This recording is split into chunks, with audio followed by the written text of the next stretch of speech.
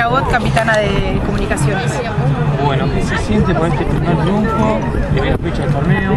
Y es muy importante empezar con un triunfo, a pesar de que hubo muchas imprecisiones, eh, pero bueno, típico de un primer partido, ¿no?